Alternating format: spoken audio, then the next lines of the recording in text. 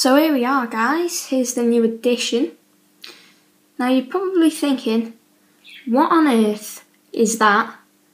Because it's not a reptile, I said it wouldn't be a reptile. It's not a fish, I did say it wouldn't be a fish.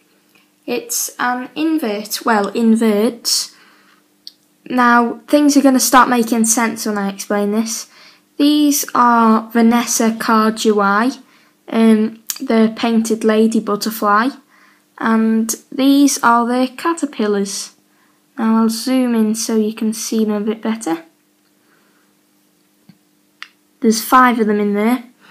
Now what you do with these is you get them as a caterpillar from a web well I got mine from a website called Gribbly Bugs. Um, you can just see on the top there it says Gribbly Bugs. But um, they come with this. There's like this stuff at the bottom. That's like diet, and they eat that. And there's air holes in the top, so you don't need to maintain them or anything. But these, you get them as the caterpillars.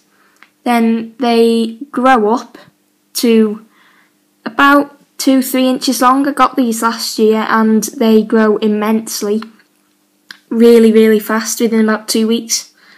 And um, then they climb up to the top of the pot and hang down off the lid.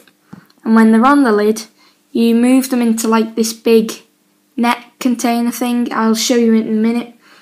And then they pupate into butterflies and you let them go. So that sort of a lot of people I know were quite confused if I wasn't getting a rescue or minding someone's pet on holiday.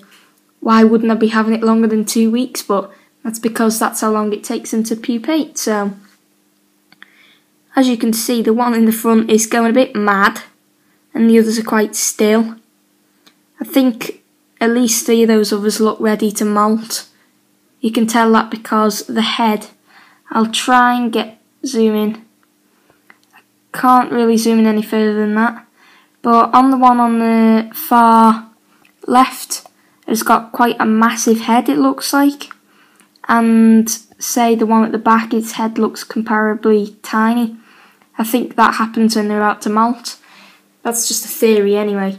But um, yeah, so they're doing really well. I'm going to show you a clip of when I first got them so you can see how much they've grown already and the amount of poo, frass they call it.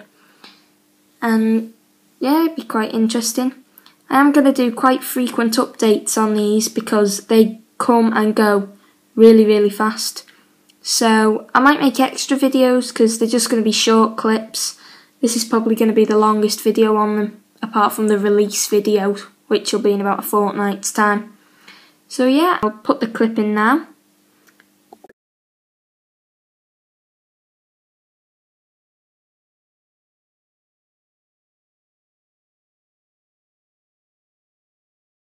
So as you can see, they have grown a considerable amount since I got them. Not majorly, but that was only two days ago and they have grown since then, so you can see why I'm going to have to make frequent videos because they're going to be gone by the time it's a month, so sorry if you get bored of caterpillar videos. Anyway, here's the cage that the butterflies go in.